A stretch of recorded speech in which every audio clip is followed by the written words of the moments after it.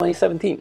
New releases, we're gonna start with the game that we mentioned already in the previous episode. Songbringer came out, two positive reviews, and the developer is already all the negative stuff that the press said, like the small little neg negative tidbits uh, about combat and stuff like that. He's been like day one, okay, let's go back into coding and make it better. And he's been working on it just as he was before, streaming the development, making things better. And yeah, you see the game has positive reviews. Go check it out if you haven't yet. I played it quite a lot and it's very Zelda-ish uh, dungeon crawling. I love the atmosphere of the game. Songbringer is available for $20. Another game we mentioned already last time is Fugl, which came out to early access actually. It's available for Windows and Mac at $10. Yeah, it's a it's really cool, meditative, flying around as a bird in voxel landscape, beautiful stuff. Another game in early access is Mystic Melee. Melee? Melee? Melee. Melee-o. A great evil is threatening the galaxy and only a team of arcane wizards can stop it. Master imaginative spells in this fast-paced physics platformer. Take your skills to the arena for fierce multiplayer battles. It's available for Windows only at $15 and since it's an early access game, it's just gonna get better and better and better.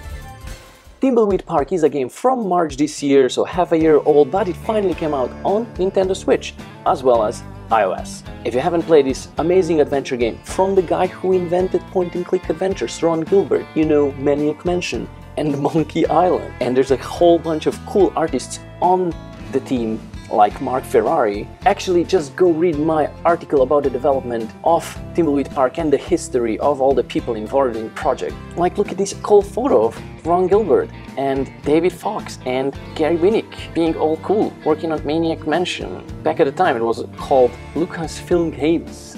Anyway, go check out Thimbleweed Park on Switch for $20 or iOS for $10.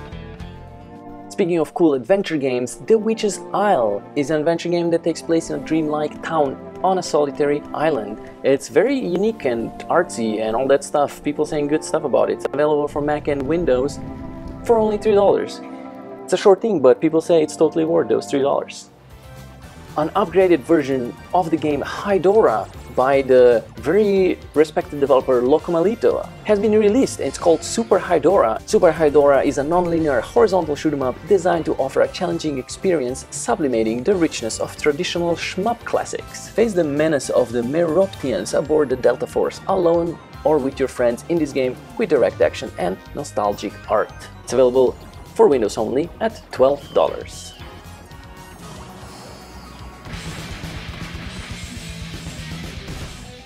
While we're on the topic of going right and fighting the bad guys, if we change spaceships for our fists, we get Fight'N Rage. Fight'N Rage is a brand new old-school side-scroller beat 'em up inspired by the classics from the Golden Age and with an art style that mimics the aesthetic from the 90s arcade games. This game pays homage to all classic gameplay features that makes this genre one of the best from its time. Has a lot of very positive reviews and it's available for Windows for $20. If you want to destroy even more stuff, take a look at Pixel Gladiator. In the distant future, brutal gladiatorial battles is a top-rated show extremely popular all over the universe. You've been sent to the abandoned planet as one of the participants of the show. Your goal is to survive as long as possible, fighting back deadly creatures in the focus of billions of viewers. Kinda like this, uh, what was it called? The place, the games where they're hungry and all that stuff. It's available for Windows for only $5.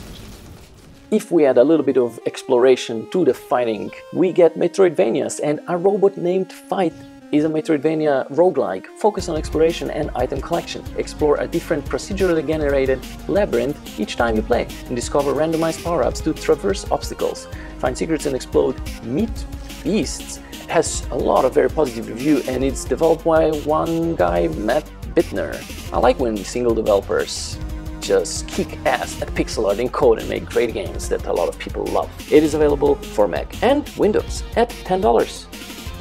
Going from games like fighting and Metroidvania that everyone is making to a little bit more creative waters. When was the last time you played a pixel art real-time strategy? Well, now you can with Tooth and Tail from the wonderful developer Pocket Watch Games. Tooth is a real-time strategy game featuring single-player online competitive play, split-screen replays and more. Build a base, lead your army, eat your enemies because every unit is an animal like skunks and owls. And if you don't care about multiplayer that much like me, yes, you have the single player story modes. Tooth has a massive 560 very positive reviews in these two or three weeks it's been out and is available for Mac and Windows at $20. Game of the Month the one and only Octavi Navarro, also known as Pixels Huh, that we all love for his illustrations, you can read my feature of his work in Retronator magazine, of course, comes to us with a point-and-click adventure game called Midnight Scenes. It's actually a series. We're gonna see the first one right now. It's called The Highway, and it's a free game. It's quite short, and I really love the format because it's something that when you see the game, you just download it and play it, and you're done in like 15 minutes. It has this cool black and white vibe that's a lot like the Twilight Zone.